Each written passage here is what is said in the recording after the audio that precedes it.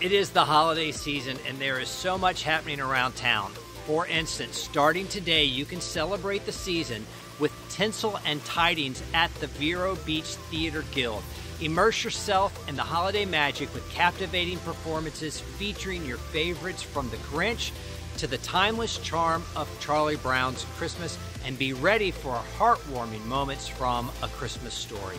But hey, each show is a unique experience with special performances, ensuring no two shows are alike. So get your tickets quickly. Don't miss out. On Sunday, Art in the Park returns to Ocean Drive.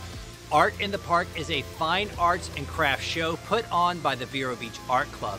Members offer original art to visitors and residents and provide the perfect opportunity to interact with and buy beautiful art directly from the artists themselves. And just in case the weather gets crummy, Waitress the Musical is playing at the Majestic Theater this weekend through Tuesday. Waitress the Musical is a Tony nominated Broadway phenomenon brought to the big screen, featuring composer and lyricist Sarah Bareilles as Jenna, a waitress and expert pie maker stuck in a small town and a loveless marriage when baking contest in a nearby county offers her a chance to escape and well you're going to have to go see the movie to find out the rest. All in all this is going to be a great weekend in vero beach. I'm Tripp hernandez with dale sorensen real estate. Get out there and enjoy our beautiful town